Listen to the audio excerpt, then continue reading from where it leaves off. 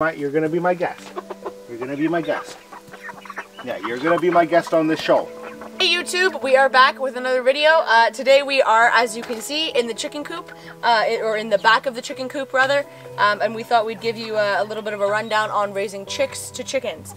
Uh, so we have three different three different kinds or two two different two, kinds. two different kinds that's right. And uh, so the white ones here these ones are Cornish cross. These are our, uh, our meat birds. And then the brown ones that we have the brown ones are our brown leghorns. Um, we say brown leghorns because they do have white leghorns. We just chose to get uh, brown, brown ones, leghorns. Yeah we do yeah. have a, a white leghorn rooster yeah, which is uh, he's he's very protective. He's great, uh, but he's pretty friendly as well, so I don't have to worry about being attacked by a rooster. Yeah. All right, our first topic we want to talk about is care for chickens, and the way uh, we start these chickens off is we put them under a heat lamp in uh, in the winter or in the spring when it's still cool outside, uh, because they do need warmer temperatures to uh, keep their temperature of their body up to par.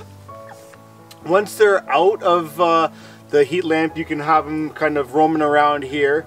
And uh, you want to first have them on a starter feed uh, which is a lot uh, smaller granular uh, type of food. And then you get them into a uh, grower type which has more of a protein uh, or sorry less of a protein than the starter does and I believe the grower is about a uh, 17 or 18 percent where the starter is about a 20 percent and that just helps them get to uh, weight faster. Uh, the care for them basically is pretty simple. We lay down wood shavings and uh, that's kind of where they go to the bathroom on. However, you're going to notice a huge difference between the two different types of birds with your meat birds and your egg layers.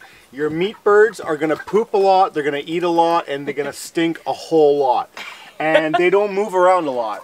Um, uh, we have them out here and they're moving quite a bit more than they were when they're in the chicken coop just because the egg layers out here. Now the egg layers, they um, they eat the same food but they don't eat as much, they don't poop as much, and uh, they don't stink as much as the chick uh, as the meat birds do. So that is a bonus. So one thing that's really curious is, of course, the different timelines that chickens have uh, in terms of uh, whether they're meat birds or whether they're egg layers, um, and the different sizes that they are at different ages. So these meat birds actually, uh, people think people always think that they're older because they are bigger.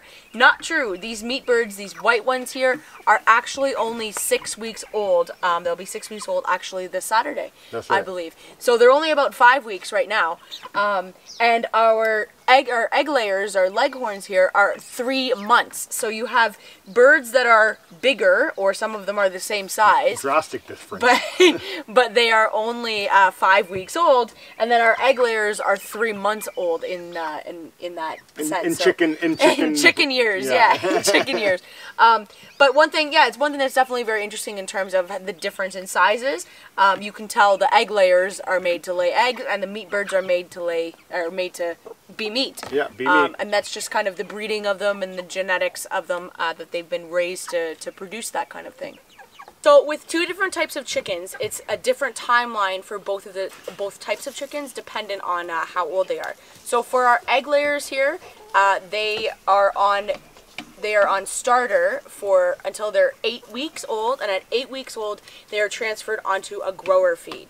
That lasts until they're about six months, and then they get put onto what's a layer feed, um, or six months, or until they lay their first egg, which is usually around six months. That's why we say that's the timeline.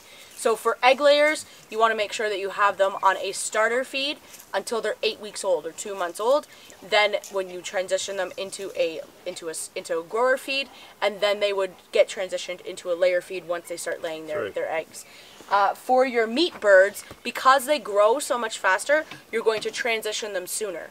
So for your meat birds, you would have them on a starter feed until they are four weeks. So it's half the time. So you have four weeks. You then transition them onto a grower feed, and they stay on that grower until they get butchered, which is actually uh, six to eight weeks is yes. approximately the, the prime time to butcher them. Uh, they may last a little bit longer. It just depends on uh, on how big they are. You want essentially for them to be a certain weight before you butcher them. Now when it comes to production of the uh, chickens, it all depends on uh, the type of bird you get.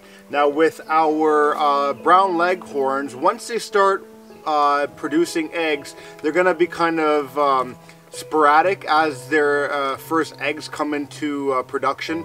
But once they start uh, getting regular with their egg production, we're expected to get one uh, egg per chicken per day. So we'll be getting uh, 12 uh, eggs per day from each chicken. And obviously we're not going to eat that, hence that if you saw one of our previous videos on how to make money on a homestead, that link will be up here. You can check that out and we'll be selling eggs. Um, the the meat birds, when we go to um, process them, you're looking about anywhere between five and seven pounds of uh, meat, and that's fully dressed um, for actual meat production. So it all depends on when you butcher these uh, chickens. So if you're doing it at six weeks, they're going to be more of a broiler type uh, or uh, sort of like a fryer type of uh, chicken, smaller. Um, if you give them eight weeks, then they're going to be more of uh, the ones that you want to make for like um, uh, barbecues and, and uh, in the oven and stuff like that. So it all depends, but uh, the production on them all varies. It all depends on what type of chicken you want to get.